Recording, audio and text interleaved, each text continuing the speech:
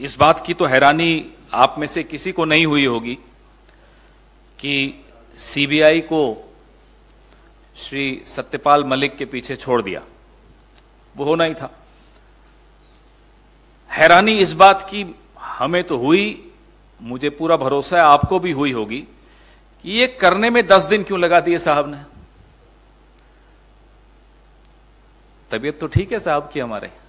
दस दिन लग गए, सीबीआई को सत्यपाल मलिक जी को बुलाने में हमें बड़ी चिंता हो रही है साहब की।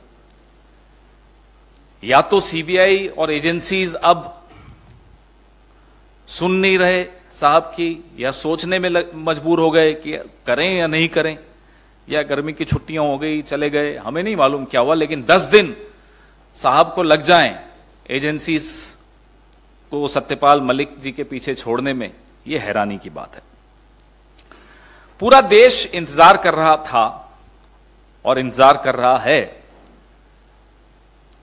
कि पुलवामा पर जो खुलासा सत्यपाल मलिक जी ने किया, उसके बाद सरकार की तरफ़ से कोई कुछ बोलेगा?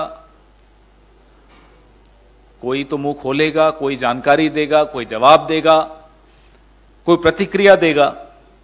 क्योंकि सत्यपाल मलिक जी ने बड़ा स्पष्ट तौर पे कहा था कि इंटेलिजेंस फेलियर था, सुरक्षा में चूक थी, पाँच विमान अगर मुहैया करा दिए जाते जवानों को सीआरपीएफ के तो ये आतंकी हमले से वो बच सकते थे। सरकार ने वो विमान देने से इनकार कर दिया।